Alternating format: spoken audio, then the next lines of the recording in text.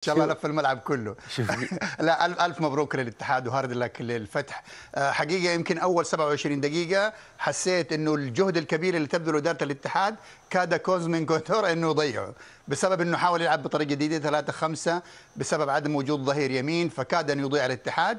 لكن تدارك الموضوع في الشوط الثاني تغير الاتحاد كليا.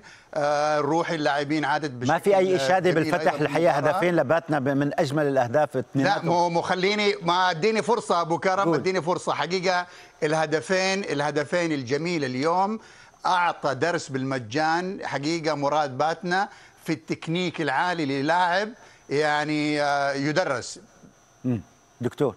آه، مصطفى مباراة جميلة جدا. آه، بصراحة أول أول 20 دقيقة في استثناء فرصة رومارينو كان كان الفتح ثابت كثير في في أرض الملعب بسبب مثل ما قال آه، دكتور محمد إنه كون- كونترا عم يلعب بطريقة جديدة وأنا تفاجأت جدا إنه أحمد حجازي لاعب لا، أساسي تفاجأت و- امبارح كان عم الس- السبت اليوم نحن الاثنين ولعبان آه، تمديد واضاع ضربة جزاء. بس بصراحة كان من أحد نجوم المباراة آه، أحمد حجازي. وجوده كان مهم جدا. يعني أنا أول ما شفت التشكيلة شوي شوي آه، خفت. خفت. يعني كمان تس بس إنه وقت شفت شو صار معهم حجازي كان من أميز لاعبين المباراه المباراة اليوم.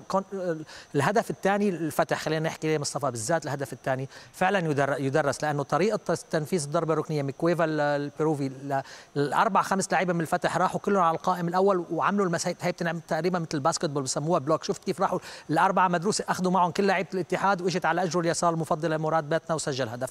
بعد الدقيقة 30 شفنا فريق الاتحاد آه، مسك المباراة بصراحة من آه، هلا ضربة جزاء اللي هي عملت الإشكال كله هي خلت الكرو- الكروت الحمراء.